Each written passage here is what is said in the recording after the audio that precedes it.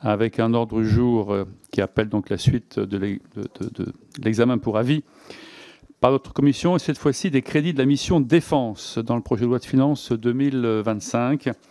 Le dernier des avis budgétaires que nous sommes appelés à examiner aujourd'hui porte donc sur cette mission avec le, rapport euh, de Laurent Mazori. Pour ne pas inutilement faire durer nos échanges, je me bornerai à souligner en préambule que l'annuité 2025 sera la deuxième de la période couverte par la loi de programmation militaire euh, du 1er août 2023, que nous avons tous voté dans une autre législature, et qui porte sur la période 2024-2030. Les dotations de la mission défense sont portées à un peu plus de 60 milliards d'euros en crédit de paiement, soit une augmentation, une marche dans le jargon militaire, de 3,2 milliards d'euros. Dans le contexte international que nous connaissons, nous ne pouvons que nous féliciter de cet effort très substantiel en faveur de nos armées. Donc on va à présent voir le détail justement de ce budget, incluant ces 3,2 milliards dont je viens de parler. Et dans le cadre de la préparation de son avis budgétaire, notre rapporteur s'est rendu aux Émirats arabes unis pour apprécier sur place les actions menées par nos forces navales et nos partenaires. Et puis, il consacrera également une partie thématique de ses travaux à la contribution de la Marine nationale à la sûreté maritime en mer Rouge et dans le golfe d'Aden. Monsieur le rapporteur, Monsieur Laurent Mazori, euh, vous avez la parole. Merci, Monsieur le Président, mes chers collègues. Nous examinons donc cet après-midi pour avis les crédits de la mission défense du projet de loi de finances pour 2025. Le présent budget prévoit, vous venez de le dire, une augmentation des crédits consacrés à la mission défense de 3,2 milliards d'euros par rapport à la loi de finances initiale pour 2024, conforme donc à la trajectoire qui a été fixée dans la loi du 1er août 2023 relative à la programmation militaire pour les années 24 à 30, la fameuse LPM 2024-2030. Il s'agit avec ce projet de budget de poursuivre l'accélération de la transformation des armées françaises et de maintenir le rang de la France parmi les grandes puissances militaires mondiales. La poursuite d'un tel effort au profit de la défense, dans un contexte général marqué par des mesures de réduction de la dépense publique, inutile de vous le rappeler, s'explique en tout premier lieu par un durcissement de la conflictualité à l'échelle mondiale. Dans un environnement de plus en plus dangereux, la nécessité pour la France de disposer d'une armée aux capacités opérationnelles renforcées apparaît plus pressante que jamais.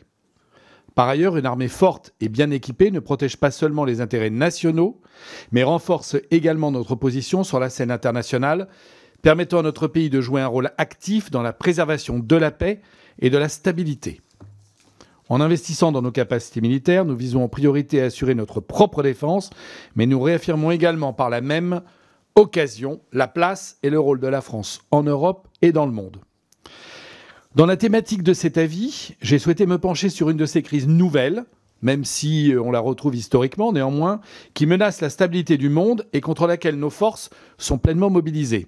J'ai ainsi fait le choix d'étudier les déploiements de la Marine nationale en mer Rouge et dans le golfe d'Aden, mis en œuvre pour lutter avec efficacité, on le verra, contre les menaces que font peser les rebelles yéménites Houthis sur la liberté de la navigation sur l'un des axes maritimes les plus importants pour le commerce mondial et bien évidemment pour le commerce européen.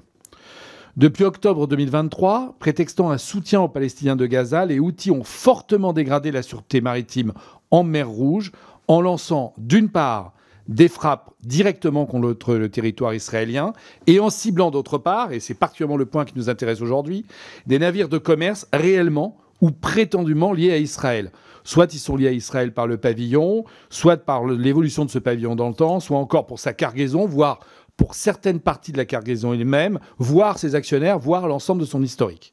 Il cible ainsi désormais tous azimuts, très majoritairement, des navires commerciaux portés d'intérêts occidentaux. Par ailleurs, les attaques menées par la milice rebelle s'apparentent davantage à des événements de guerre, avec l'emploi d'armes lourdes de plus en plus efficaces et de plus en plus précises.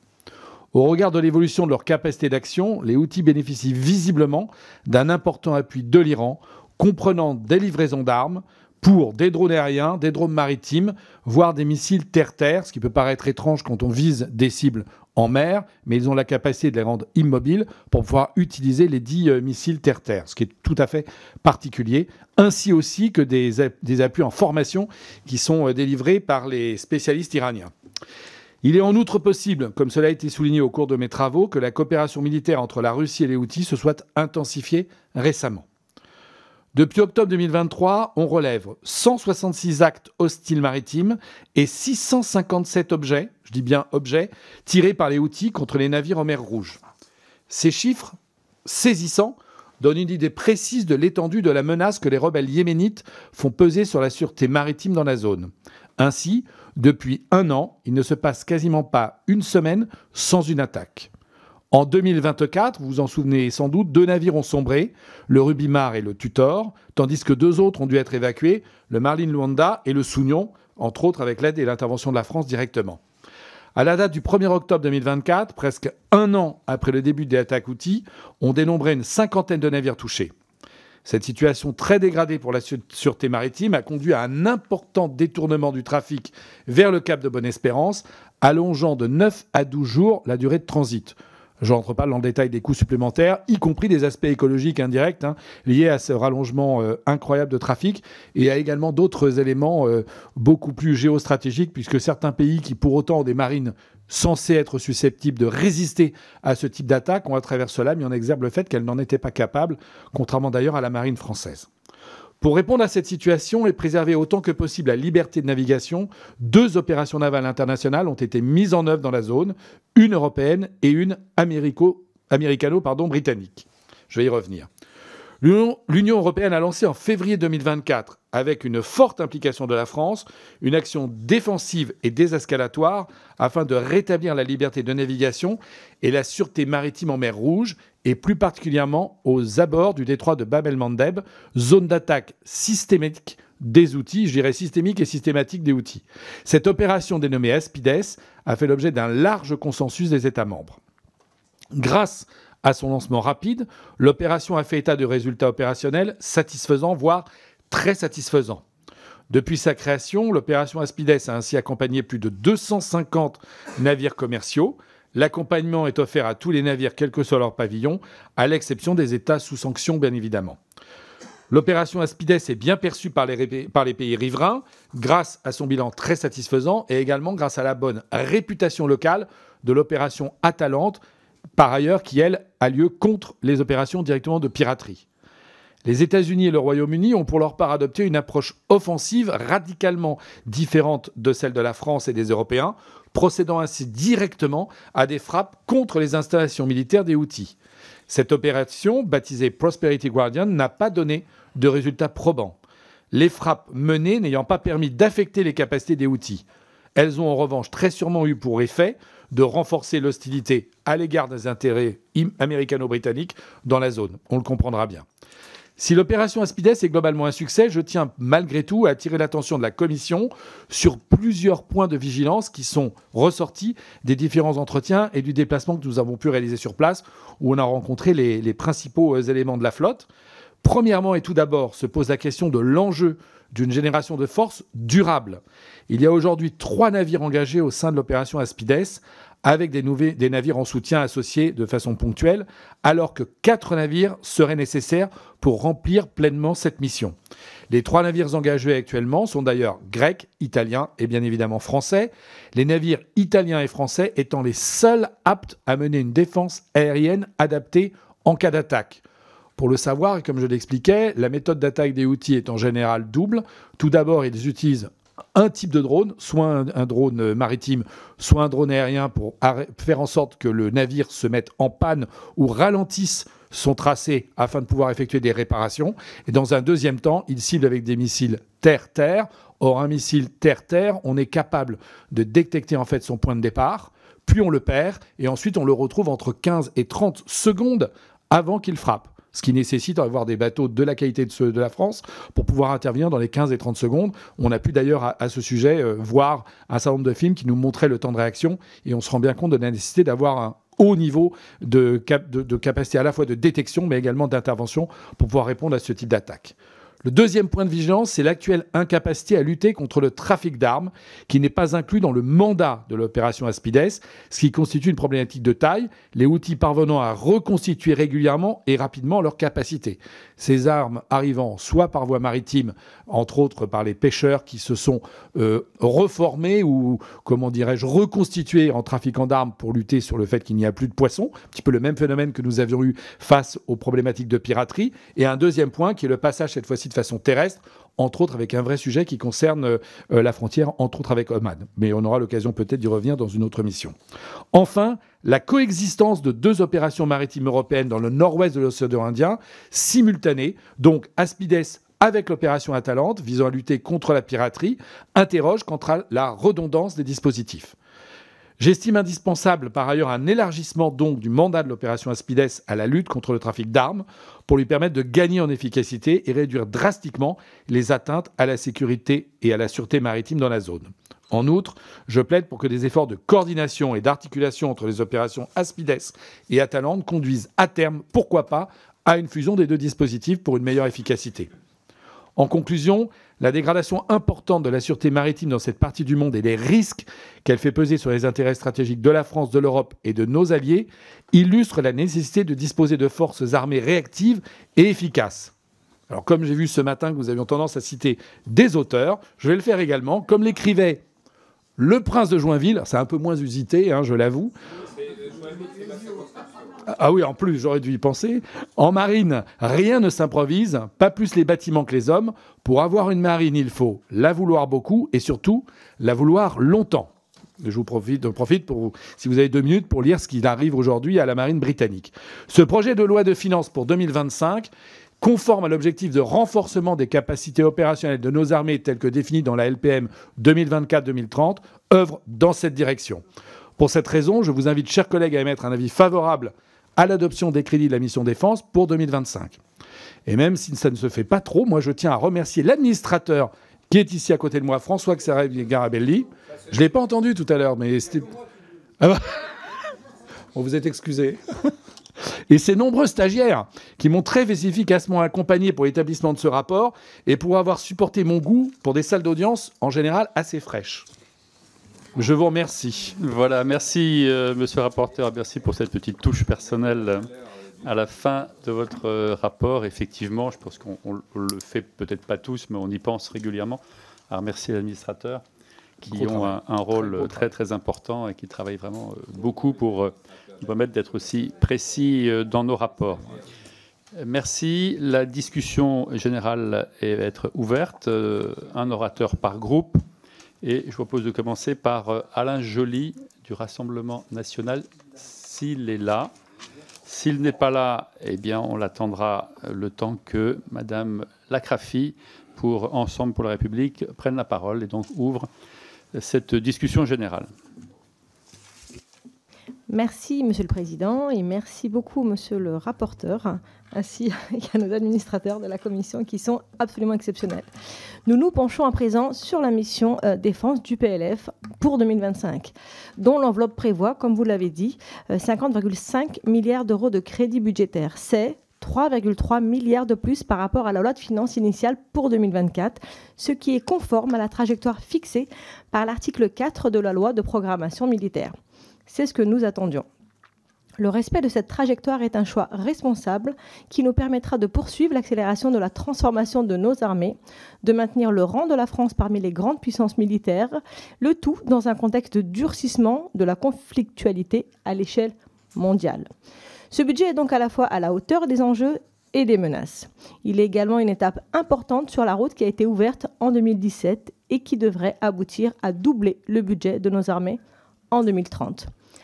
Ces crédits contribueront à financer les priorités du ministère avec une attention particulière portée à la modernisation de notre dissuasion nucléaire, à la préparation opérationnelle pour faire face à un conflit de haute intensité, au renouvellement des équipements, à certains, un certain domaine stratégique, à savoir l'innovation, l'espace et les drones, à améliorer des conditions d'entraînement et au soutien des soldats et à leurs familles. Mon groupe votera donc les crédits de cette mission. Au sein de votre rapport, vous évoquez parmi les surcoûts prévisionnels de la mission défense en 2024 le soutien direct à l'Ukraine, caractérisé par les recomplètements de sessions portés par les programmes 178 et 146, les actions de formation et la contribution nette à la facilité européenne pour la paix. Et, en corollaire du contexte ukrainien, les opérations de renforcement du flanc oriental de l'OTAN. Aussi, pourriez-vous nous en dire un peu plus sur la prise en charge de l'effort national du soutien à l'Ukraine J'ai notamment noté à ce sujet, lors de l'audition du ministre, d'importants gains d'inflation avaient été réalisés cette année, créant des marges de près de 400 à 600 millions d'euros. Il précisait que ceci servirait aussi à aider l'Ukraine. Je vous en remercie. Monsieur le rapporteur.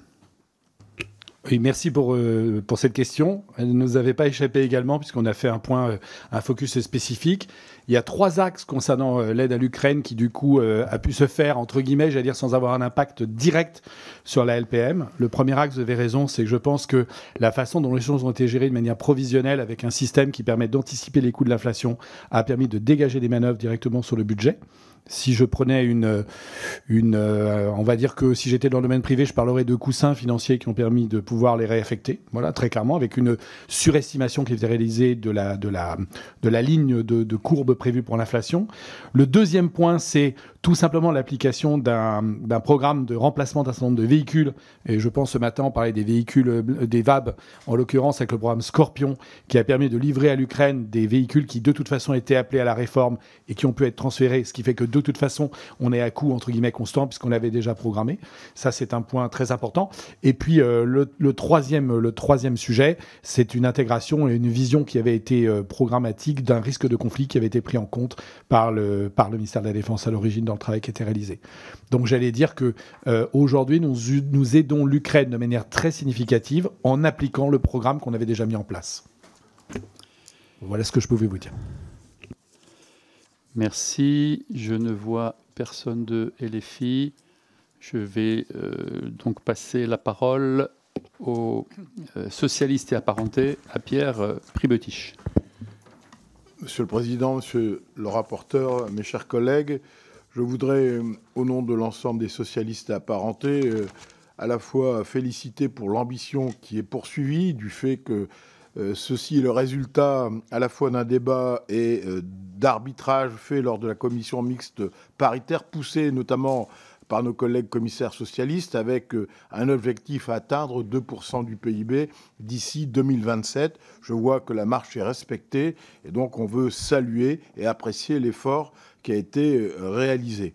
Cette trajectoire est en effet donc conforme à ce qui a été voté.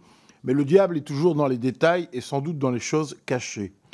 Nous pourrions voter pour, mais avant de le faire, il faudrait nous dire où prend-on les finances pour les opérations extérieures, dites les OPEX, inattendues. Pour mémoire, ce qui appartenait initialement aussi au budget était le soutien à l'Ukraine, classé à l'époque interministériel, à l'identique pour les OPEX depuis de nombreuses années. En raison du contexte, le ministre des Armées a ramené ces éléments cités dans son budget et la marche n'est donc plus respectée. L'inventaire à la prévère des dépenses, nous le connaissons. Liban, Yémen, Corne de l'Afrique, soutien à l'Ukraine, l'ensemble est maintenant intégré au budget des armées et cela représente plus de 2 milliards auxquels il faut ajouter les bons de commande pour le porte-avions, la nouvelle génération. Positif naturellement, nécessaire sans aucun doute, mais le flou règne donc sur les moyens. Que compte faire le ministre? Sur quel crédit? Comment reporter ces paiements pour justement assumer ces opérations extérieures, monsieur le rapporteur? Vous avez euh, là aussi mentionné, on fait les interventions euh, suite euh, aux décisions concernant l'opération Aspides. Nous en remercions. Cette confrontation, en effet, inquiétante. Moi, j'aimerais soulever aussi un autre point. Le rapport pour avis n'évoque pas ou quasiment pas la question de l'armement du futur, notamment l'innovation dans l'armée. Je, voudrais que nous l'on ait tout de même un échange sur ce qu'on appelle les SALA, les systèmes d'armes létales autonomes, qui sont un élément préoccupant d'un point de vue éthique et surtout aussi des moyens nonobstant aussi tout ce qui concerne les nouveaux drones, les micro-drones, qui doivent faire partie des nouveaux systèmes pour permettre d'avoir euh, une armée à la fois efficace, au service de notre pays, au service de la diplomatie. Merci beaucoup, monsieur le député, monsieur le rapporteur. Oui, merci, merci pour ces questions. Elles sont tout à fait justifiées, bien évidemment, pour la partie des OPEX. Alors, je ne vais pas rajouter par rapport à ce que j'ai répondu précédemment pour la partie qui concerne l'Ukraine, mais la question que nous avons posée à ce sujet, il nous a effectivement été répondu que c'était par essence interministériel. Donc ce point est resté, puisqu'on regardait les notes que nous avons à ce sujet. Et en ce qui concerne, et vous avez tout à fait raison de le souligner, le point, j'allais dire, de l'innovation dans la défense, on n'a pas eu de retour sur la philosophie parce que euh, on est dans une philosophie de la guerre. Hein. quand on parle, vous avez raison, des micro-drones et de la prise de l'intelligence artificielle au service des interventions armées, qui reviendrait en fait à avoir une délégation de la décision humaine sur une partie qui serait ou préprogrammée ou qui pourrait prendre des décisions seule en n'ayant connaissance de la stratégie locale du terrain sur lequel s'exercent ces interventions. On n'a pas eu de retour sur ces questions-là parce que je pense que dans le cadre purement financier, la réponse n'a pas souhaité nous être donnée, mais je pense que c'est une question qu'il faudra qu'on pose probablement sur la partie commission défense, plus précisément, à mon avis, parce que c'est un point qu'il faut continuer à investiguer, d'autant que certains pays qui n'ont pas notre philosophie avancent, et vous le savez, très fortement sur ces sujets, alors même que nous, nous sommes un peu plus dans une situation de constatation, même si on a la capacité à le faire. Si je prenais, euh, ça me rappelle un petit peu les, les problématiques qu'on pouvait avoir sur les cellules souches à une époque. On est un peu dans cette logique-là, avec quelque chose qui là est létal. Donc en tout cas, on n'a pas eu de réponse directe, mais je sais que le point est pris. Je pense que la question devrait être reposée en commission défense. Et si vous avez des représentants, je pense qu'il faudrait qu'ils euh, n'hésitent pas à la porter.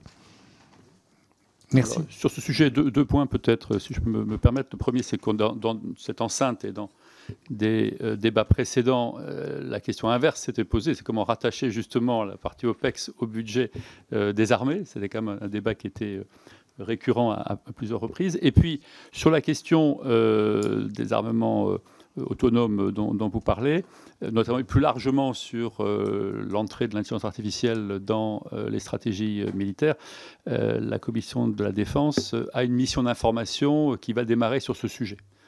Alors, l'idée, n'est pas forcément de la faire avec eux, mais peut-être voir comment on peut, nous, avoir un observateur ou regarder un peu ce qui se passe ou intégrer un certain nombre de problématiques à leur suggérer. Voilà. Mais on, peut très bien aussi le faire ensemble.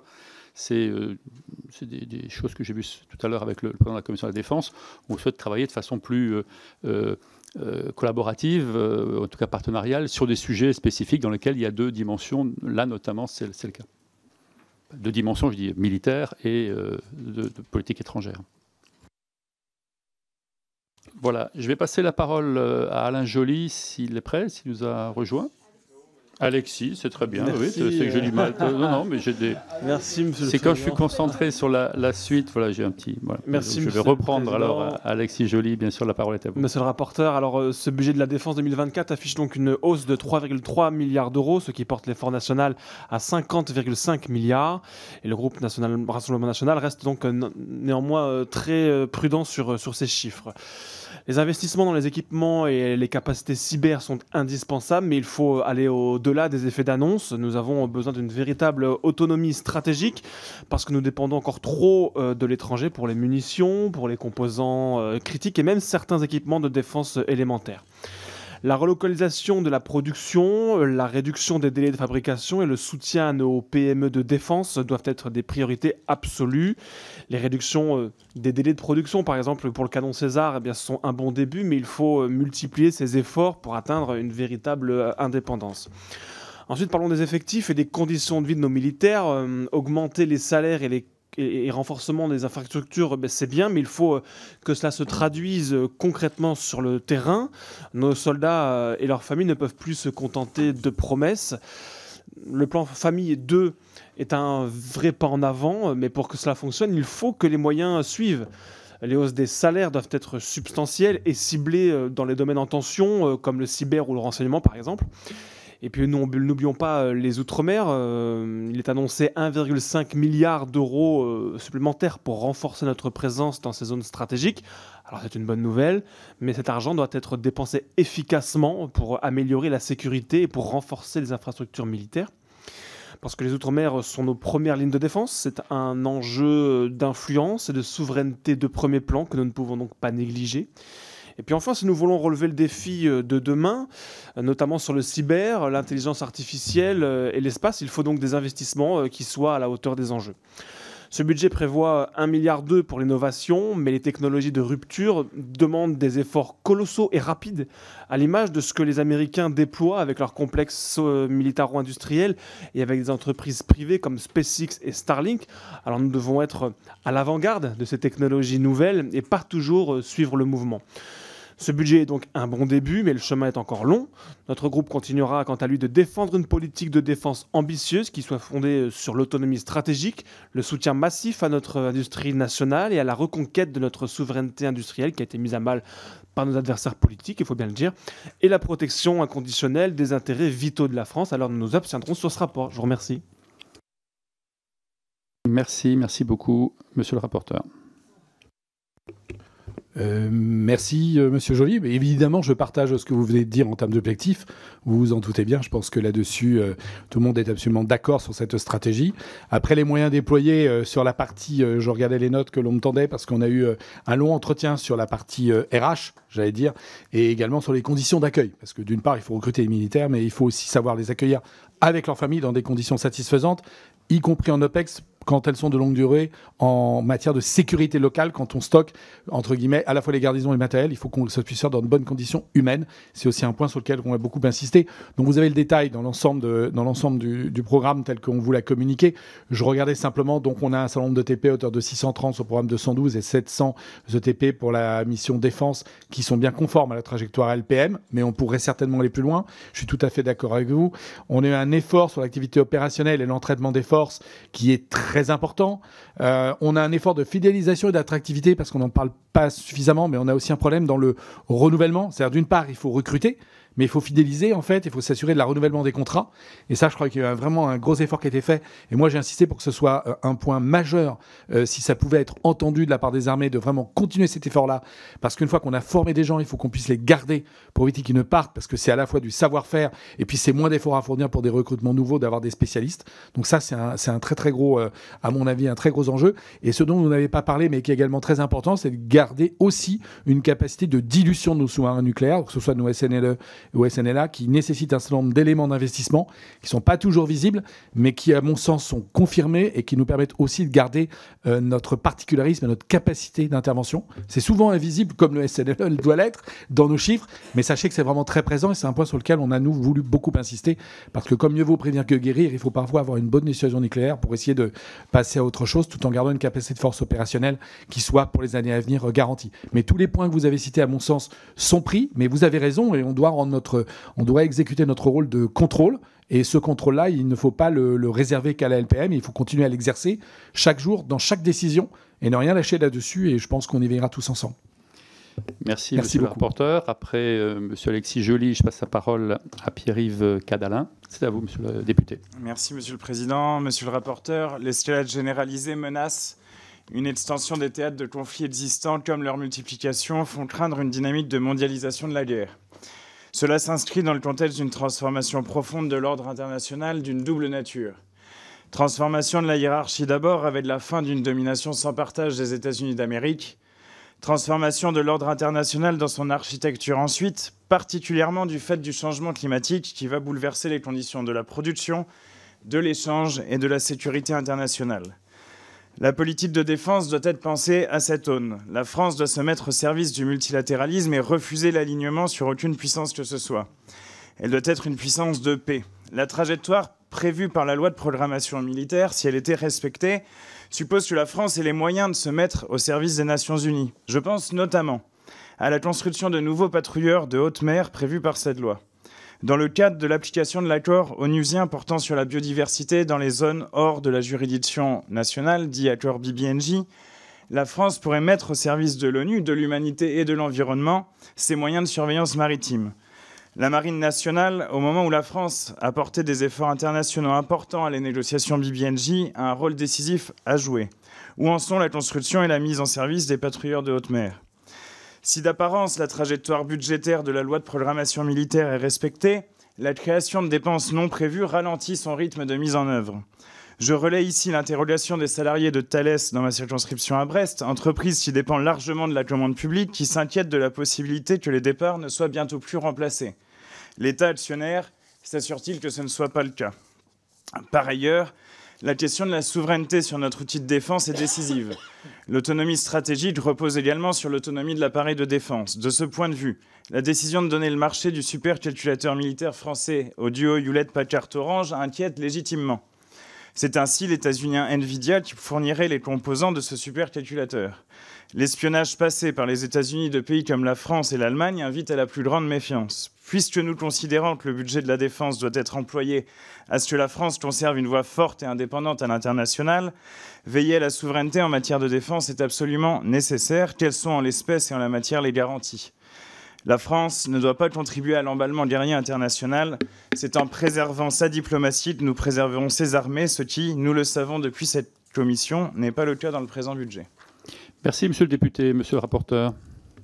alors, je ne voudrais pas donner l'impression d'être le rapporteur qui est d'accord absolument avec tout le monde, mais néanmoins, je suis d'accord aussi avec ce que vous venez de dire.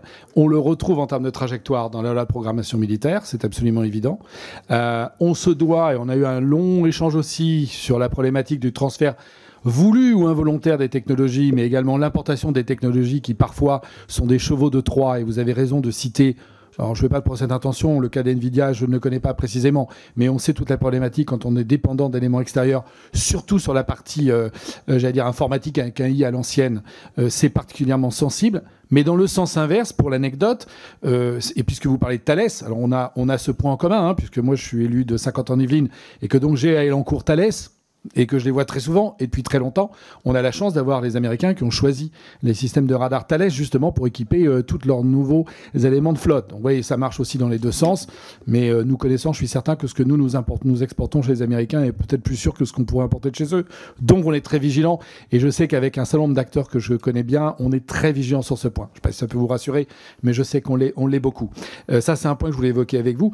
Et puis, et puis, en ce qui concerne la trajectoire sur la programmation des patrouilleurs, mais également des frégates, puisque vous savez qu'il nous manque aussi des frégates. La marine que nous a rencontrée nous a bien assuré qu'on était dans le plan de marche tel que ça avait été décidé pour la LPM et qu'on avait un taux de réalisation cette année qui avoisinait les 86% en début octobre et que le plan de marche serait respecté sur les trois ou quatre années à venir.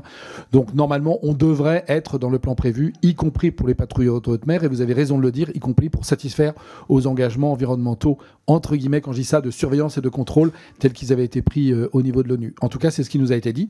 Mais j'allais dire, comme tout à l'heure, il faut qu'on continue à être bien entendu vigilant. Absolument d'accord avec vous. Merci. Je vais passer la parole euh, pour la droite euh, républicaine à Michel Herbillon. Je vous remercie, Monsieur le Président, Monsieur le rapporteur, mes chers collègues. C'est le bon micro, ça? Oui? D'accord. Je souhaite d'abord remercier notre collègue euh, Laurent Mazori pour son rapport qui permet à notre commission d'étudier les crédits de la mission défense dans le cadre du projet de loi de finances 2025. 18 mois après l'adoption de la loi de programmation militaire que l'ensemble du groupe de la droite républicaine avait voté, il est proposé un budget en hausse de 3 milliards 300 millions. Malgré les fortes contraintes budgétaires que nous connaissons, cette proposition de budget est donc en conformité avec la trajectoire de la LPM. Et au nom du groupe de la droite républicaine, je veux d'emblée dire que nous soutenons ce choix fort et que nous voterons ces crédits. Dans un contexte géopolitique particulièrement difficile, L'augmentation de ce budget est une nécessité impérieuse pour assurer notre défense et pour préparer celle de demain. Les effectifs du ministère poursuivent leur hausse régulière en passant à 271 000 en 2025 avec un objectif de 275 000 en 2030. Et je veux en profiter pour saluer et remercier l'ensemble des militaires et des civils qui agissent pour notre pays et pour assurer la sécurité de nos concitoyens en France et à travers le monde. Par ailleurs, nous appelons à ce que le fonds d'aide à l'Ukraine de 200 millions d'euros demeure hors budget de la défense, comme cela est indiqué dans le bleu budgétaire, car ce fonds ne peut être une variable d'ajustement. Aussi, nous souhaitons le maintien au sein du ministère des crédits des OPEX, et ce, même si ceux-ci sont en baisse en raison du désengagement de nos armées dans la bande sahélo-saharienne. Monsieur le rapporteur, cher Laurent, vous avez souhaité étudier les déploiements de la Marine nationale en mer Rouge et dans le golfe d'Aden pour lutter contre les menaces que font peser les rebelles yéménites outils sur la liberté de navigation dans cet axe maritime majeur et je vous félicite de votre choix et de votre focalisation sur ce sujet.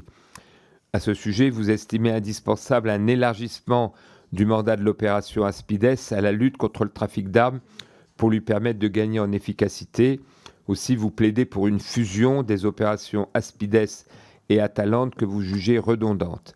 Pouvez-vous nous indiquer comment cela permettrait d'agir plus efficacement face aux rebelles yéménites outils Merci, euh, vice-président Herbillon. Monsieur le rapporteur. Oui, merci, cher collègue, euh, monsieur Herbillon. Je l'ai un petit peu dit dans mon intervention, il y a deux aspects. Ça, il y a, euh, alors, pour la fusion, parce qu'à un moment donné, là où on peut faire avec un, en termes de défense, c'est plus efficace que faire avec deux. Et l'amiral sur place nous l'a confirmé, voilà, très clairement.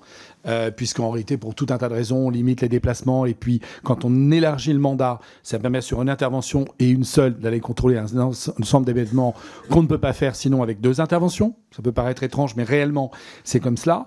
Et puis, deuxièmement, c'est une vraie problématique de droit international et de mandat. Le mandat actuel que nous avons ne nous permet pas, sauf en réalité, il y arrive en tordant un petit peu le bras au mandat à aller vérifier un certain nombre d'éléments de cargaison et à rentrer dans un certain nombre de détails, mais pas partout, pas n'importe quand et pas dans n'importe quelle condition. Or, la quantité d'armes petites qui composent de grosses armes, en fait, est très importante et leur passage aujourd'hui n'est absolument pas contrôlé. En gros, en dessous de 100 tonnes, on vérifie pas grand-chose. Or, à ce niveau-là, on nous expliquait que, par exemple, le soir, à certaines heures, ce sont des centaines de frêles esquifs qui traversent le détroit pour relier les deux points de côte et qui transportent à cette occasion-là tous les parties des composants nécessaires à fabriquer des drones légers, voire des drones lourds, et qui passent complètement sous, le, sous les radars, c'est le cas de le dire. Donc il y a un vrai sujet d'élargissement du mandat, il y a un vrai sujet qui relève peut-être aussi de la Commission des Affaires européennes d'avoir ce discours avec nos, avec nos confrères, même si ce qui nous remonte quand même, c'est que, en gros, à part euh, nos amis italiens et nos amis grecs, sur le terrain, il n'y a pas grand monde qui soit capable d'intervenir. Et c'est la raison pour laquelle, moi, j'appelle vraiment à ce que cet élargissement de la mission et du mandat puisse être donné directement à nos troupes pour qu'on puisse avoir plus de contrôle sur le terrain. Il vaut mieux arrêter les drones avant qu'on les fabrique plutôt que les arrêter après qu'ils aient été tirés. avec euh, le, micro, s'il vous plaît. Et vous avez bon espoir, euh, cher Laurent, que ce mandat puisse être effectivement élargi dans les faits à ce stade, je n'ai aucun espoir. Je dis qu'il faut faire la demande, parce que je ne suis pas certain aujourd'hui que cette démarche-là ait été portée avec toute la nécessaire volonté. Et j'en profite pour dire euh, que quand on contrôle pour les armes, évidemment, on trouve beaucoup d'autres choses. Et on nous a montré ce qui avait pu être trouvé à l'occasion de contrôle d'armes. Et on trouve, par exemple, énormément de stupéfiants. Voilà. Donc, typiquement, l'élargissement de ce mandat pourrait permettre très certainement à travers les mailles du filet de récupérer un bon nombre d'éléments qui portent atteinte directement à notre territoire de manière directe ou indirecte. Et c'est ce que les militaires nous ont monté, c'est ce qu'ils nous ont démontré sur place. Merci beaucoup, monsieur le rapporteur. Après Michel Herbillon, je donne la parole pour le groupe écologiste et social à madame Dominique Voinet. Merci, monsieur le président, monsieur le rapporteur, mesdames et messieurs. Nous parlons ici d'un budget considérable euh, qui porte néanmoins la marque des affres et aléas budgétaires, gel sur gel, dégel partiel, report, annulation de crédit.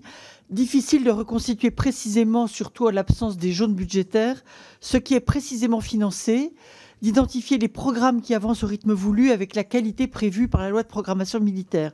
413 milliards sur 7 ans, soit pour 2025, 58 milliards en autorisation d'engagement, 47 en crédit de paiement qui méritent un examen approfondi. J'ai lu votre travail avec attention, monsieur le rapporteur, et suis frappé de la pudeur de Violette avec laquelle vous abordez, ou plutôt n'abordez pas, sinon de façon elliptique, le budget de la dissuasion nucléaire. Il s'agit tout de même du troisième poste du ministère des Armées. Euh, il représente une dépense en constante hausse. Elle a augmenté de 3,9 milliards par an en 2009 à 5,6 milliards en 2023. Elle devrait dépasser 7 milliards par an d'ici 2027. Vous parlez euh, des opérations portées par la dissuasion, curieuse formule, puisque la dissuasion ne porte rien. Dans le paragraphe consacré au programme 146 d'équipement des troupes, vous nous offrez, pour y voir plus clair, une liste des principaux programmes à effet majeur ainsi que leurs coûts. On y trouve des investissements qui relèvent de la dissuasion, d'autres pas. Euh, le coût du nucléaire militaire a été... Euh, affirmé il a été affirmé à plusieurs reprises par les ministres successifs hein, qu'il ne dépasserait pas 13% euh, du montant global euh, de la loi de programmation militaire, mais en vérité, l'opacité est totale sur un point si important de notre défense et de notre budget. Ni le taux, ni le montant ne sont affichés dans la loi de programmation militaire et pas non plus euh, dans les budgets qui nous sont présentés. Pas un mot dans le rapport sur les sous-actions 14 concernant les nouveaux missiles euh, balistiques M51, ni sur la sous-action 24 qui concerne les sous-marins euh, nucléaires lanceurs d'engins de troisième génération. Et ça représente quand même 19 milliards d'autorisations d'engagement. Personne, en vérité, ne sait ce que coûtera cette aventure. La loi de programmation ne dit rien non plus de la déconstruction et du démantèlement euh, des sous-marins nucléaires euh, mis au rebut.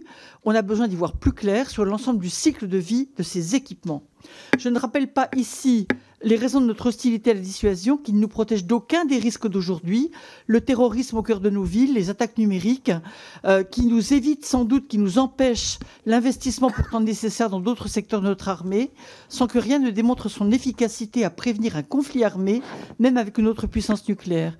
Une phrase encore, monsieur le rapporteur, pour regretter la façon dont vous décrivez l'agression russe envers l'Ukraine dans votre rapport. Vous parlez de la guerre opposant l'Ukraine et la Russie. Ce sont des termes qui renvoient dos à dos l'agresseur et l'agressé. C'est dommage, c'est vraiment dommage. Merci, euh, Madame Vonnet. Monsieur le rapporteur. merci pour la violette, même si je peux préférer franchement le myosotis. Euh, néanmoins, ce que vous avez dit euh, non, je pense pas. C'est tout est symbole. Euh, je pense que ce que vous avez dit est très juste concernant la partie nucléaire. Euh, sans mauvais jeu de mots, euh, c'est effectivement en apparence dilué. Et je suis tout à fait d'accord dans les éléments qui nous ont été communiqués. Donc on revérifiait et il y a évidemment des questions complémentaires à poser. Et je partage ce point avec vous, euh, Madame Voinet. Et donc nous essaierons de poser ces questions pour obtenir des éléments complémentaires, puisque nous l'avions, euh, nous l'avions déjà ressenti nous-mêmes. Sinon, on est bien à 13% du montant global. Hein. C'est ce qui nous avait été donné et c'est exactement les chiffres que nous avons récupérés.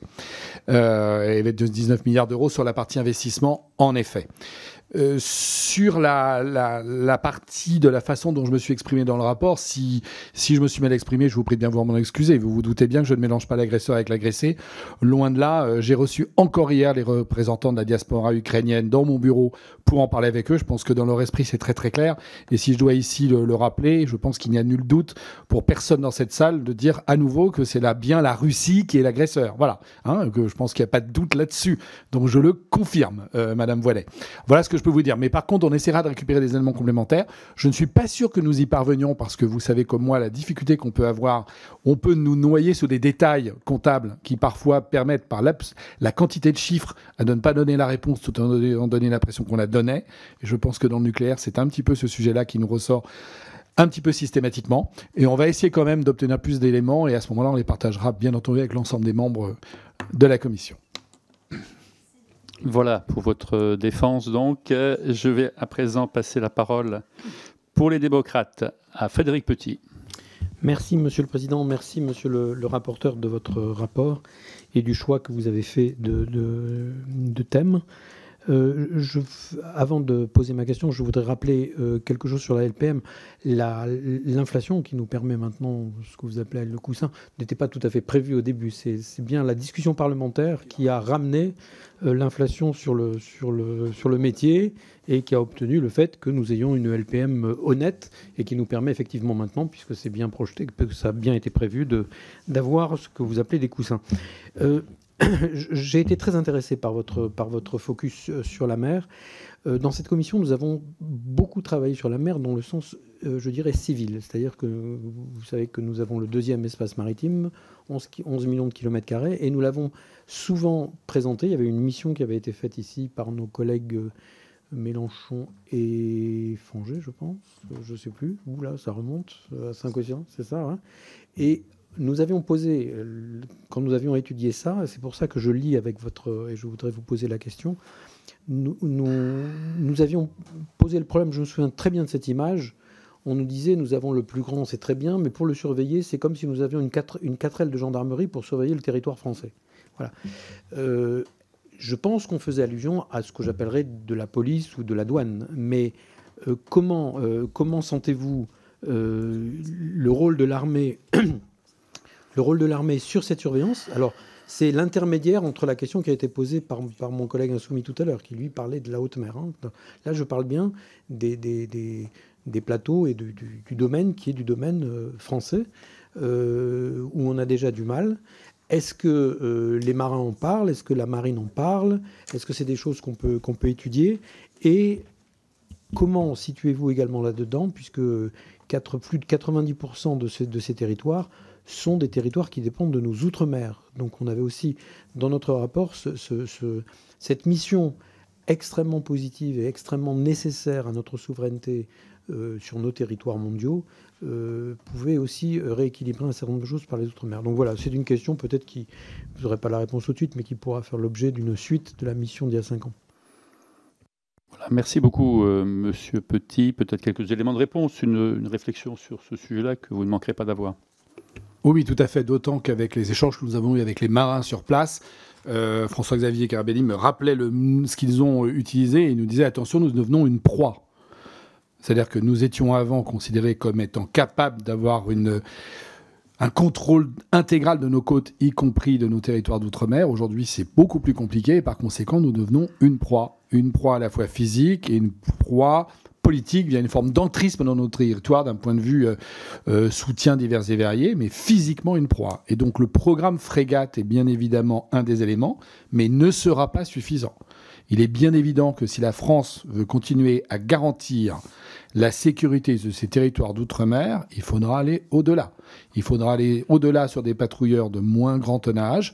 Il faudra aller au-delà avec des patrouilleurs positionnés dans nos outre-mer et pas des patrouilleurs qui se déplacent pour couvrir parfois sous une forme d'urgence certains conflits dans nos outre-mer. J'emploie le mot conflit volontairement. Il y a également des opérations de transport qui doivent avoir lieu. Donc ce sujet est essentiel. Et puis il y a des éléments un petit peu moins visibles, qui est également le rôle que rendent nos marines en termes de détection des structures potentiellement ennemies présentes dans les territoires riverains, sur lesquels il faut avoir des capacités de détection. Nous avons aujourd'hui la chance d'avoir un bâtiment pour le faire, qui est le du Puy de l'Aume, mais nous n'en avons qu'un. Alors beaucoup de pays n'en ont pas du tout, mais nous en avons un il est prévu pour durer 30 ans.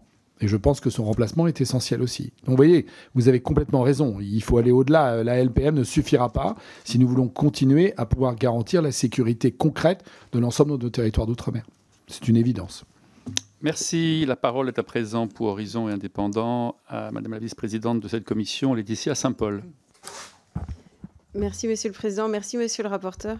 L'honneur m'avait été fait d'être rapporteur au nom de la Commission des Affaires étrangères des deux dernières lois de programmation militaire, 2019-2025 et 2024-2030. Il y a eu un immense effort de fait. C'était quand même les lois de programmation militaire les plus ambitieuses depuis la fin de la guerre froide, après des décennies d'attrition. Donc je pense que c'est important de rendre à César ce qui appartient à César. Et euh, en termes d'exécution budgétaire des projets de loi de finances, eh bien, la, loi de programmation militaire a toujours été exécutée à l'euro près. Donc là, c'est important et merci pour euh, votre avis favorable pour euh, l'exécution budgétaire pour 2025. Et effectivement, vous l'avez rappelé, il y a un durcissement de la conflictualité à l'échelle mondiale, au-delà de l'aspect terrestre. On peut voir aspect euh, aérien, maritime, et dans ce qu'on appelle les nouvelles sphères de conflictualité, cyber, spatiale, nucléaire, et aujourd'hui intelligence artificielle.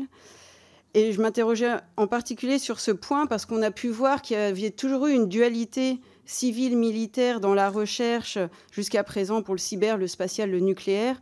On a toujours euh, pensé euh, ces nouveaux milieux de façon duale.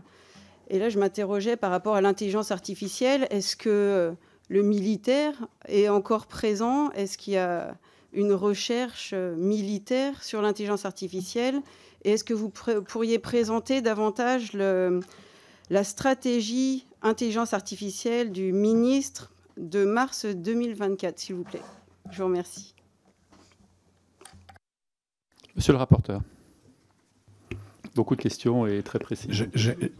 C'est ce que j'allais dire, j'aimerais avoir à la fois les compétences et la capacité de temps pour présenter la stratégie du ministre. Donc je veux rendre au ministre qui est au Sur ministre. le temps, il faut lisser sur l'ensemble d'interventions. Donc on n'est pas. Vous avez un peu de crédit sur le temps. Oui, oui, non, j'ai bien noté. Non, mais je, Sur la ce compétence, ça sujet-là, s'acquiert, non, mais euh, ce sujet-là, monsieur le, président mériterait réellement un colloque pour le coup. Et, là, et, et je pense l'audition de vrais spécialistes. On n'a pas fait un focus spécifique sur ce point. Ce que je peux dire, en tout cas du sentiment euh, de nos différents entretiens, cette fois-ci avec le ministère des Armées directement, c'est que la, la synergie, au moins, entre la partie privée et la partie publique pour arriver à mettre au point des éléments d'intervention de sécurité et militaire dans ces domaines-là me semble avoir été plus prise en compte maintenant qu'elle ne l'était il y a encore 20 ans, où chacun campait dans sa spécialité et où, euh, si certes, euh, Feu, la DGA, avait tendance à ouvrir au privé, on avait moins le sentiment sur ces sujets-là qu'elle était prête à le faire. Aujourd'hui, j'ai vraiment le sentiment que la cohésion d'action entre les grandes entreprises nationales françaises et les armées sont totales, à la fois en termes de commandes, mais également en termes de plan de travail et de travail entre autres sur l'innovation. J'ai l'impression qu'on est beaucoup moins euh, euh, claquemuré qu'on l'était par le passé, ce qui est bon signe pour des déploiements futurs. Après, quand je dis ça, je ne dis rien. Il faudrait rentrer dans le détail des programmes. Il faudrait vraiment qu'on ait une audition sur ce sujet-là. Je pense qu'un rapport spécifique devrait être mené. C'est un peu dans le sens que ce que vous disiez aussi, c'est-à-dire la partie philosophique, elle est aussi là. Puisqu'en fonction de ce que l'on est prêt à faire, on peut lancer ou pas des points de recherche ou on peut les valider ou pas. Donc je pense qu'il y a évidemment une mission spécifique sur ce point-là qui devrait être lancée euh, à notre niveau. Ou à nouveau, on revient sur le sujet, président, que vous évoquiez tout à l'heure, ou au niveau de la commission euh, défense, parce que les deux sujets, on le voit bien, sont connexes, sans compter les aspects industriels et de soutien de nos entreprises aussi, que cela sous-tend, bien entendu. Voilà. Donc oui, on sent que, entre guillemets, c'est bien lancé, on sent que ça fonctionne, on sent que les, les murs sont tombés et que la coopération sur ces différents points existe, mais je ne peux pas rentrer le détail, je n'ai pas les éléments pour le faire à ce stade. Très bien. Merci pour cette réponse. Je vais peut-être suggérer à, Laurent Saunier de, prendre attache avec euh, la Commission de la Défense pour savoir où en est euh, aujourd'hui euh, leur idée de rapport. Est-ce que c'est déjà lancé ou pas lancé? Et de voir le cas échéant comment on peut euh, avoir une interaction euh, ou un copilotage, etc. Il faut, faut regarder. Mais voilà. Monsieur Pripetich.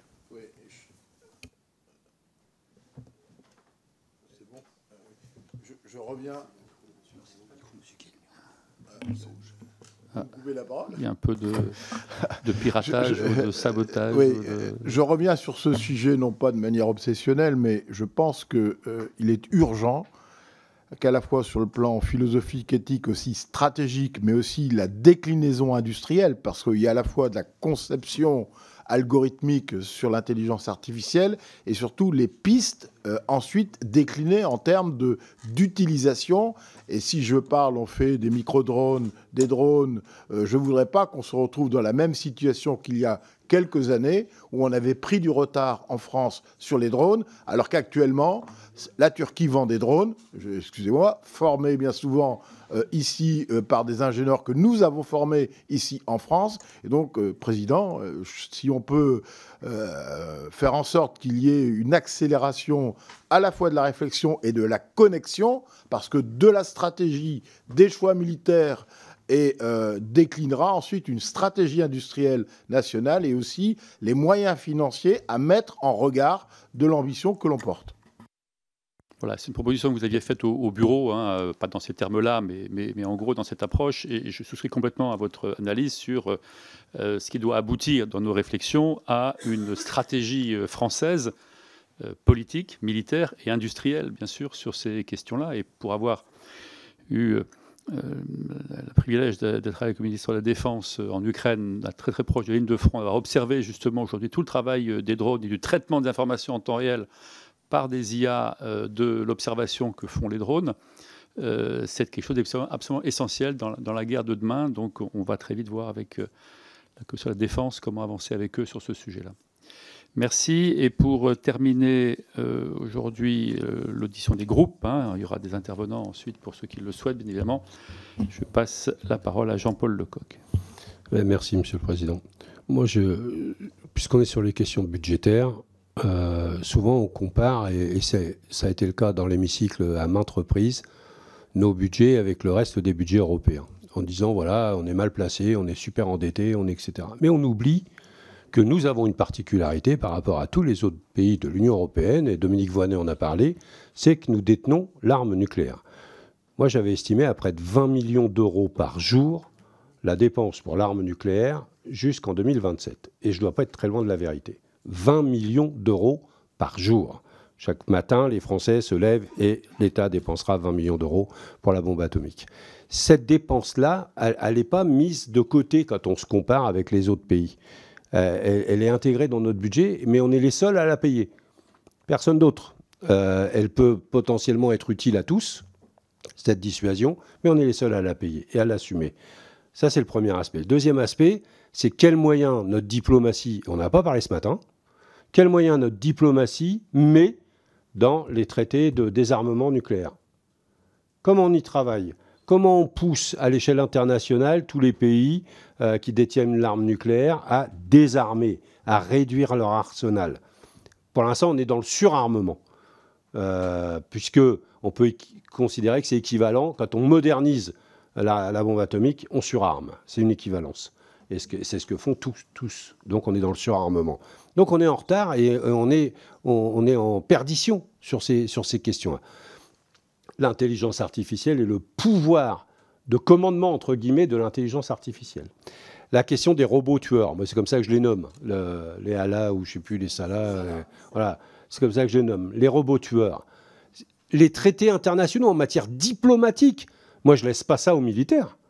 Je ne veux pas laisser ça aux militaires, surtout pas comment la commission euh, des affaires étrangères se, saisit de cette question-là pour que la diplomatie internationale travaille sur euh, l'évolution, voire l'interdiction euh, des robots tueurs, etc.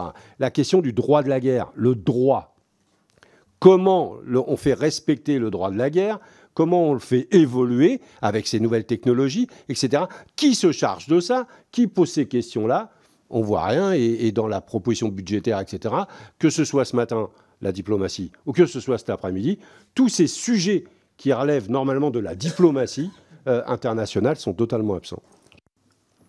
Très bien, c'est une bonne euh, réflexion, mais ils sont par nature euh, absents, puisqu'on est là sur un avis budgétaire. Donc on ne peut pas avoir tous les, tous les plans, toutes les étapes en, profondeur dans, ce qu'on étudie. Mais ces questions posées, effectivement, on les a abordées dans la discussion là, à mon avis, doivent être traitées par cette commission avec celle d'affaires de, de la défense et, plutôt conjointement pour associer ces deux types de réflexion, le plan diplomatico-politique et euh, le plan euh, militaire.